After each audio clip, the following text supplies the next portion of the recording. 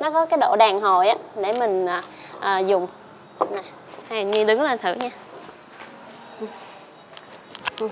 Không có vấn đề hết.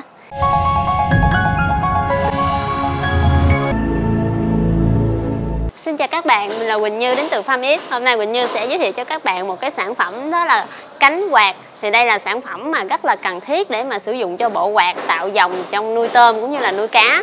Thì à, phía sau lưng Quỳnh Như là 500 cánh quạt Thì mình sẽ đi qua xíu đây xíu ha Để mà mình à, à, chia sẻ kỹ hơn. Tại vì cái này là trong bao á, không bóc ra được Còn cái này là phần riêng ở ngoài nè.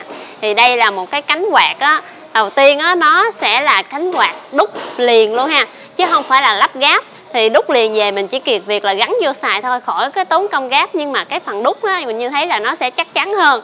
Giống như là cái phần cánh này nè mình nhìn thấy là nó đúc liền á nên nó rất là dày dặn và chắc chắn hơn. Đây mình mình có thể là mình kiểm tra nè. À, phần nhựa dẻo rất là dày dặn rất là chắc chắn nha. Để mà mình dùng ở trong nuôi tôm á mình chạy liên tục nè. Sức nước đạp nước nè nó có cái độ dẻo nè. Nó có cái độ đàn hồi á để mình à, à, dùng. Nè hay Nhi đứng lên thử nha. Ừ, không có vấn đề hết và đây là lỗ cái lỗ quạt đó là cái cái phổ thông luôn phổ biến hoa là cái cái lỗ lát 34 và là à, inox cái này là chốt inox hết chốt inox hết. Đây và phần cánh á, thì là ừ, 8 cánh 1, 2, 3, 4, 5, 6, 7, 8 cánh. Và một cánh á, thì có hai lỗ lớn hai lỗ nhỏ. Thường mình nước á, mà ngập mà ngập một lỗ như thế này nước á, mình cho khi mà xuống thì ngập một lỗ thường thường tầm vậy nè nước ngập tầm một lỗ là ok. Đó. rồi phần độ à, bề, bề, bề dày của cánh quạt á độ độ rộng của cánh quạt á, thì mình như đo thử nha. Như đo thử là đây cái độ rộng.